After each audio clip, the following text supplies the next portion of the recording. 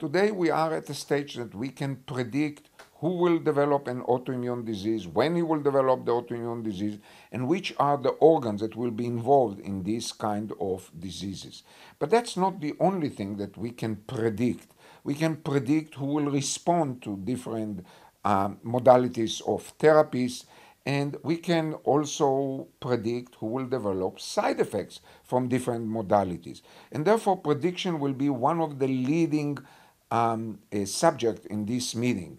Uh, we are aware that this prediction may be harnessed to develop different therapies to prevent autoimmune disease. One of them will be vitamin D, which has almost no side effect and has been shown in experimental models and in some clinical trials to be very beneficial for uh, autoimmunity and preventing autoimmunity. So this is an ideal compound which has no side effect, does not need prescription of physician and still can be useful hopefully to prevent different autoimmune disease. But in the future, maybe in some people who are at a higher risk of developing autoimmune disease, we should develop a vaccine against EB virus, a virus which is well known to induce at least 33 different autoimmune diseases. So this subject should be vaccinated to prevent their exposure to EB virus. And therefore, uh, this um, will be discussed in detail in several sessions in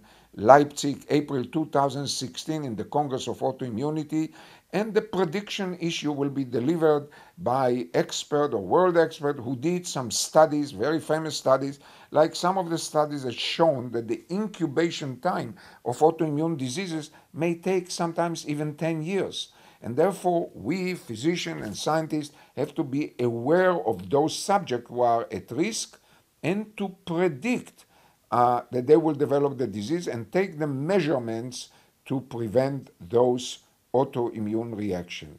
See you in Leipzig 2016 in the Congress of Autoimmunity.